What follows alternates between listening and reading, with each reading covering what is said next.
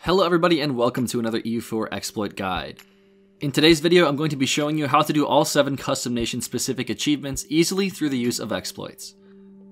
I'll be doing a lot more detailed guides on this channel both with and without the use of exploits, so be sure to subscribe to stay up to date on the videos that I'll be releasing. And if there's enough demand, I'll remake this video without exploits. Each of the achievements will be timestamped down below in the description, so please feel free to jump ahead if you need to. Without further ado, let's get into the video. There are 7 custom nation specific achievements in EU4, and to do any of them, you must have the El Dorado DLC enabled. This DLC enables the use of the Custom Nation Designer mechanic, and today we're going to be using this mechanic to do an exploit that allows us to go over the Custom Nation point limit in a variety of ways that makes these achievements rather easy to obtain. Even with the cheating, some of the achievements are more difficult than others, so we'll be covering those at the end of the video and in more detail. Custom Nation point limit is based on the difficulty you select in the options after entering the single player menu. Each of the achievements in this video require the player to be below a certain threshold. However, by changing the difficulty level and using this exploit to go over the custom point limit, we'll trick the game into thinking that we are within those achievement limits. I'm going to show you guys the exploit first so we can speed through each achievement guide without going into too much detail every single time. To start, create a custom nation and click Done. Then navigate to any button on the UI, like the badge in the top right corner, and press Shift and right click at the same time. Click the Interface GUI button. This will bring you back to the menu. When you're in the Start menu, shift right click and press the Interface GUI button a second time to open a second set of windows and refresh the menu again. Now, as you cancel out of the first two windows, you'll see that the Custom Nation button in the bottom right corner of the screen has reappeared. Click it and modify your Custom Nation.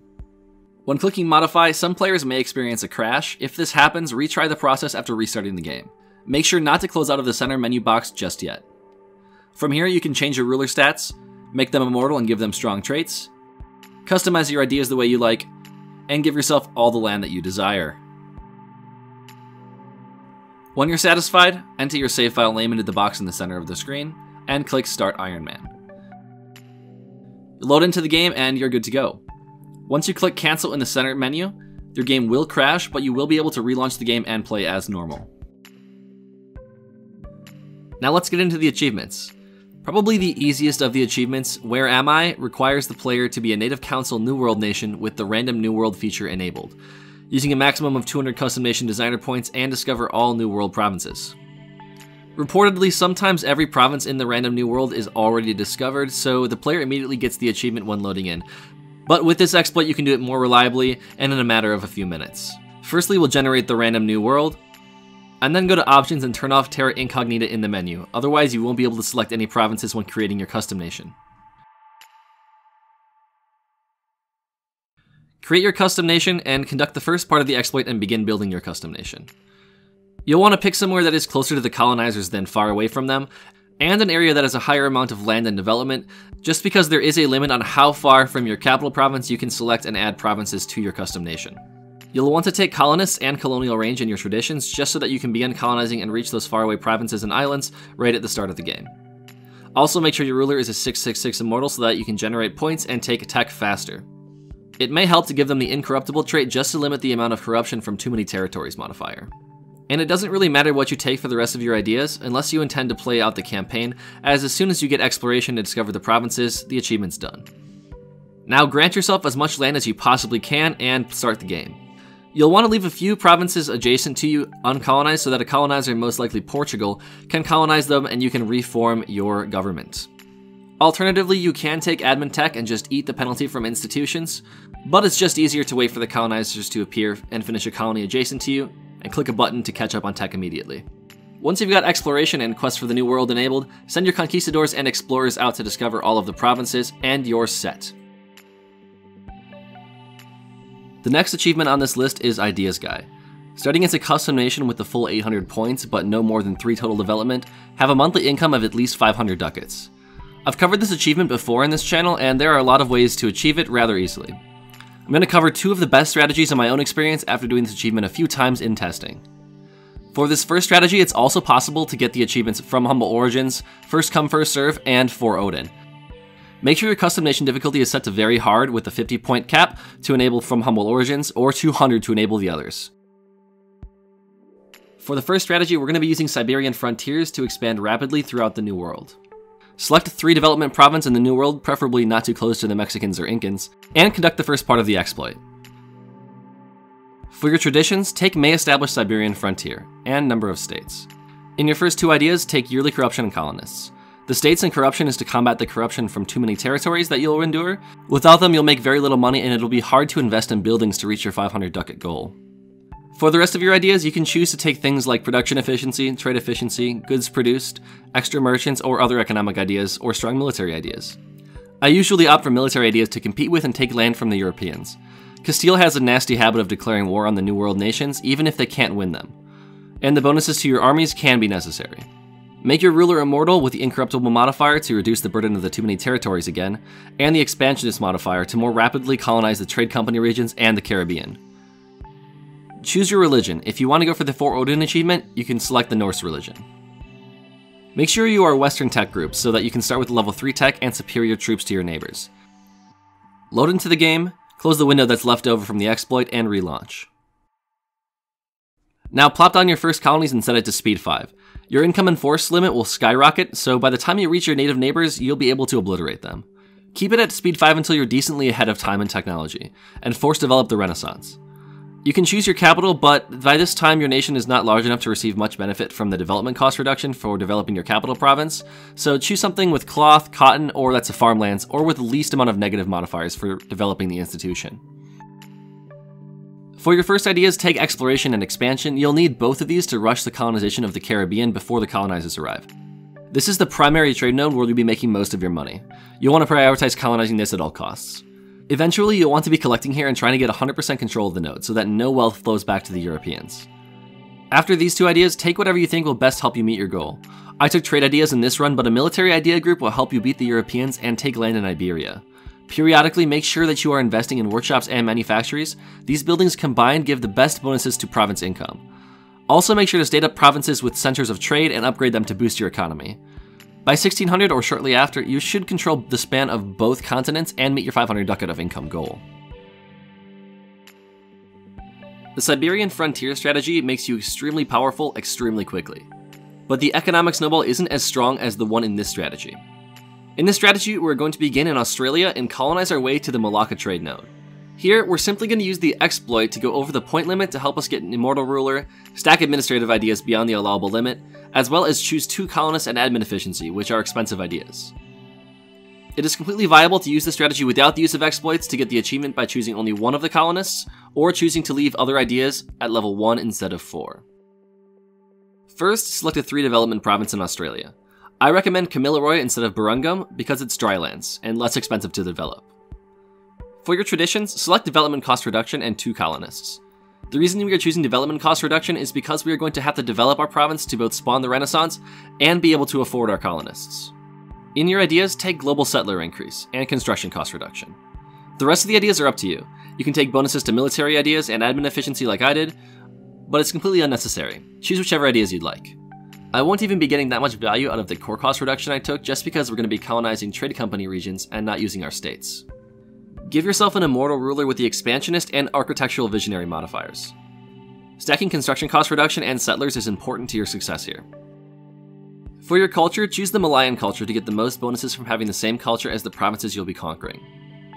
Having provinces of a different culture than your accepted cultures give negative modifiers to manpower, tax, and unrest. For your religion, if you want to be the most efficient, choose Sunni. This will allow you to take an extra 10% development cost reduction at the start of the game, as well as propagate your religion in the trade company areas. If you don't already have it, you'll be able to easily get the hard bargaining achievement this way. When you're satisfied, load into the game, close out of the leftover menu, and relaunch to begin playing. Select the repressive native policy for the bonus 20 settler increase to speed up your colonization. From here, go speed 5 until the Renaissance spawns. After which, stack your development cost reduction from estates and state edicts and develop the institution in your province.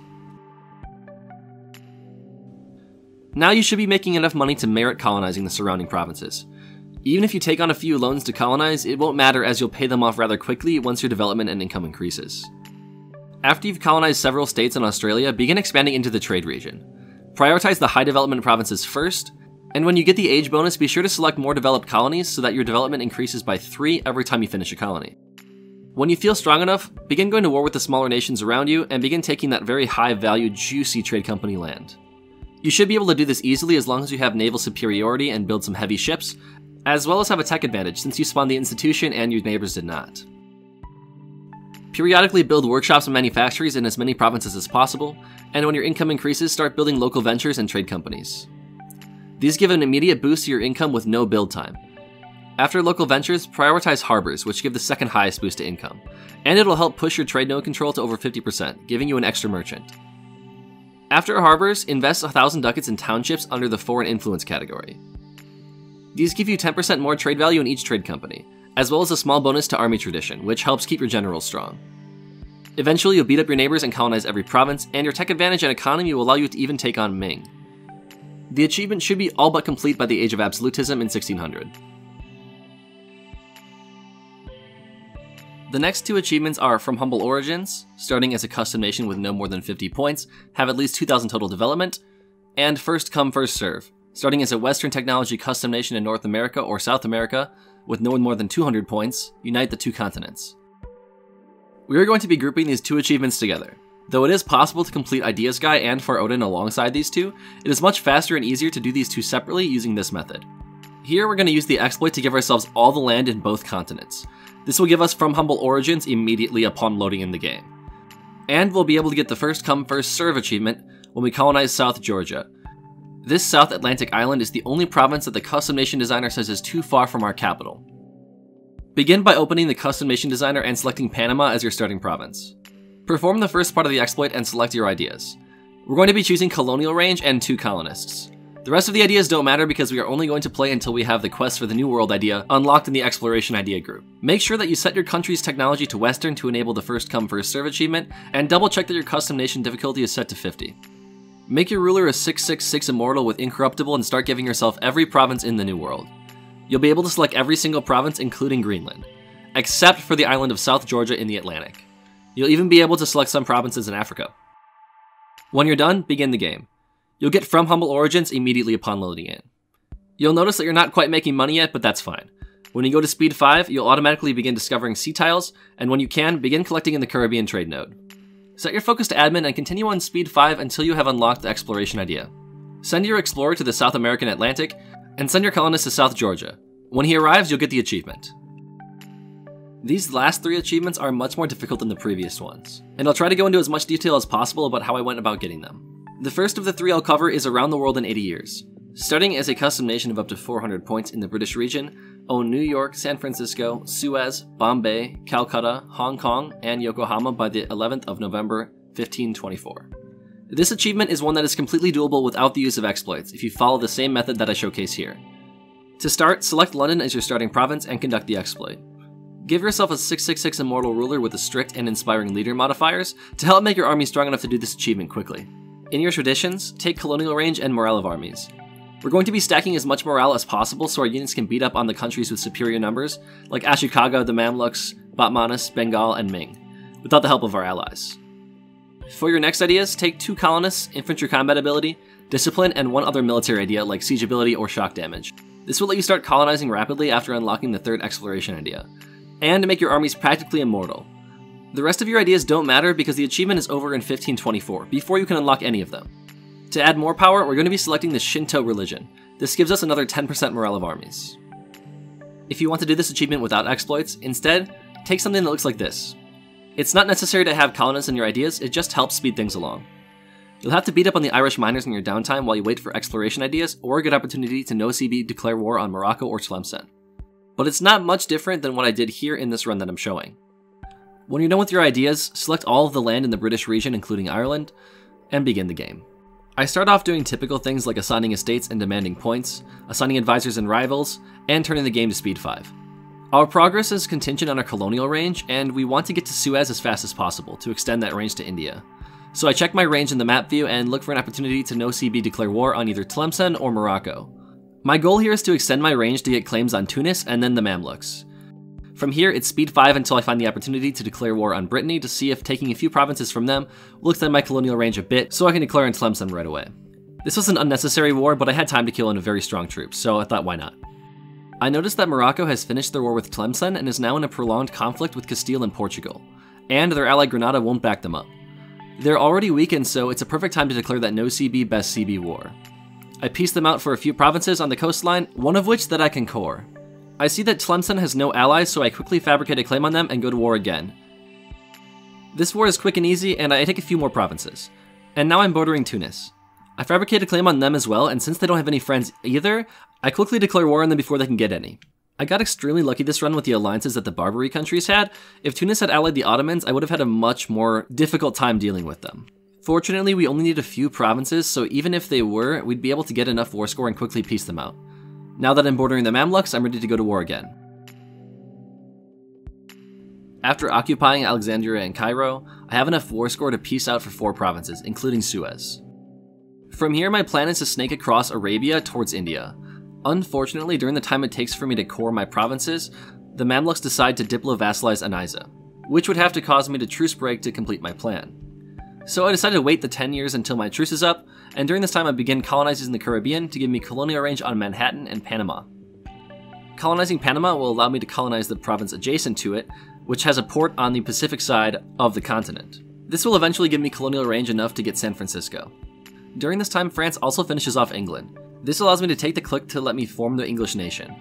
This gives me access to all of the English mission tree, which I'm able to take clicks from for bonuses to settlers, as well as bonuses to morale, additional monarch points, and a whole lot more.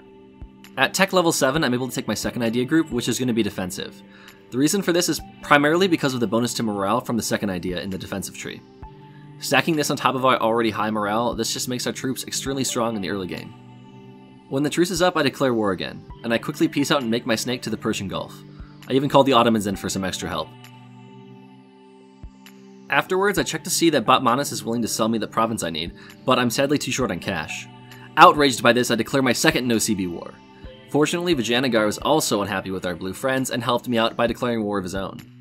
The war was pretty quick, but I lost a lot of ships because I wasn't really paying attention, which was my bad. I'm able to peace out for Bombay and a Sri Lankan province to extend my colonial range. Now my eyes are on Bengal and Ming. I begin colonizing Panama and see that my Manhattan colony is almost finished. While I'm waiting for my new boats to finish, I'm still colonizing and colonize the adjacent province to Panama. As I said earlier, this will give me colonial range for San Francisco. Because it's still the Age of Discovery, I use the claims off of Claims Age bonus to chain claims all the way from Sri Lanka to the Bengal Delta.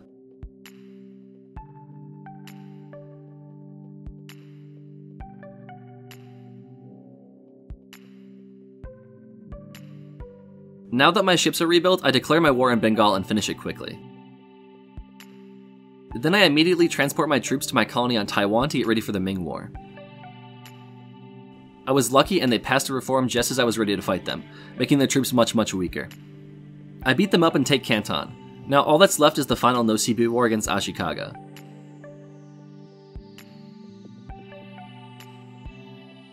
During the war, my colonist to San Francisco finally arrives, so peacing out earns me the achievement. Like I said at the beginning, you do not need to cheat to get this achievement. And as you can see, even without playing ideally, though I did use some exploits, I was able to get the achievement with 20 years to spare.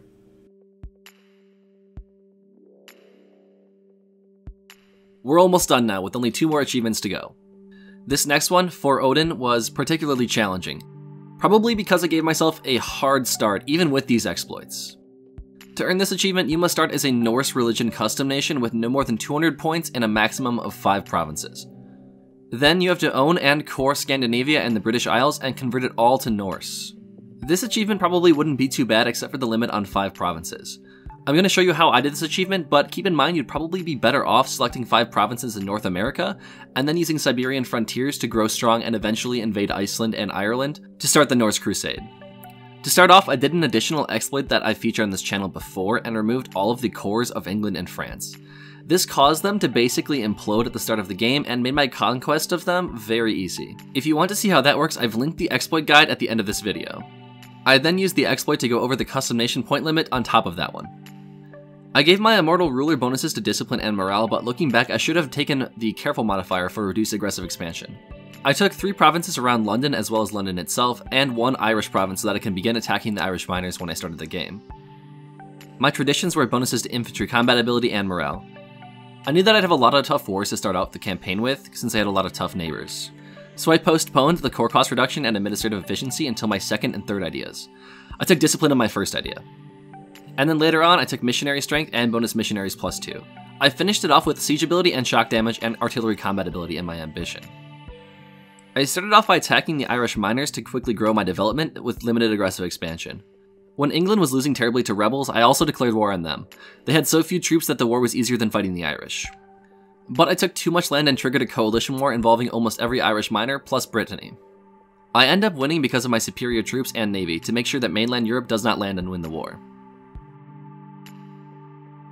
Then in another war, I take the majority of the rest of Ireland, and Scotland doesn't like that very much and declares a war against me. I'm able to beat him up and separate him from picking on his little brother England. My own truce with England is almost up and I need to declare on them immediately before they can join the coalition. But going into war against them led Normandy and East Frisia to declare their own coalition wars against me, inviting Castile and their four PU subjects in Portugal, Aragon, Navarra, and Naples, as well as all of Burgundy. I'm able to gain some war score by letting some troops land and then immediately stack wiping them, and then sending my heavy ships to go hunt enemy fleets in the North Atlantic. I win after some time and peace out England. Brunswick and Scotland don't like that very much, and declare two more coalition wars against me. At this point, no navy can beat my own, so I decide to take most of Scotland and eat the rest of the coalition wars that are to come. I take more and more coalition wars and just shrug them off, buying down war exhaustion when I need to. After I defeat England, I'm able to take the decision to become them. This gives me the English mission tree and claims on the rest of the Isles, as well as the Norwegian islands and Iceland. This gives me the perfect casus belli to go in against the Scandinavians. The religious ideas that I took first are kicking in and I'm able to convert rather quickly, and because France is so weak, I can't resist a free PU subject from the English missions. So I fabricate a claim and declare war for Co to complete my mission, and then peace them out after occupying Paris.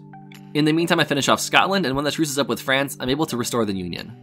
Luckily, they just won a war with Burgundy and were able to take some land, so I waited for them to peace out before declaring my own war on them. Because France got beat up by everybody, they had a bit of reconquest, so I reclaimed some land from Brittany and then declared war with Castile once the truce ended with them. This stopped them from joining another coalition, which was really nice. Afterwards, I used my claims on Norway to go in against Denmark and took most of Norway for myself. From here, I could use Deus Vult to fight show superiority wars with my superior troops, and eventually I'm able to win a few more wars with Denmark and an independent Sweden to finish all my conquests. Then all I had to do was wait for two provinces to lose religious zeal from Protestantism in order to convert them and get the achievement. Again, I took a very hard route here, though it was extremely fun.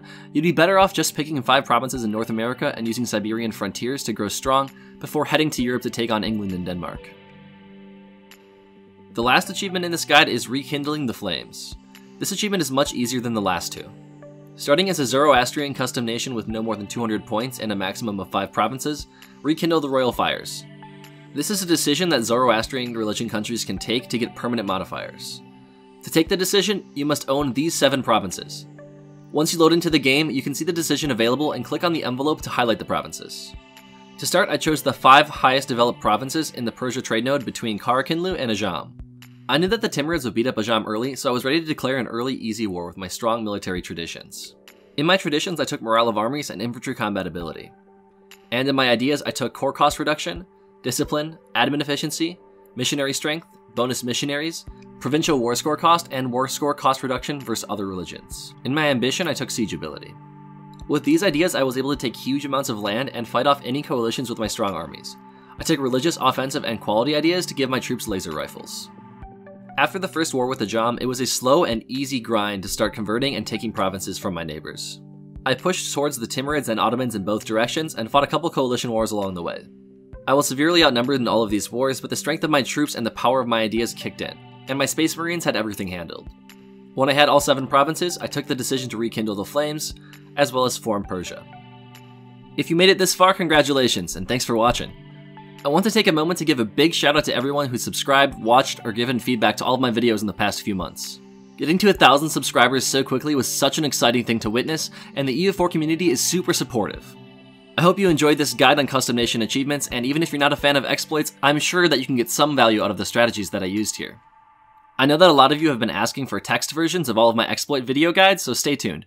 I'm in the process of making text guides for each of my videos on my channel to put up on my website, and I'll make a community post when I'm finished.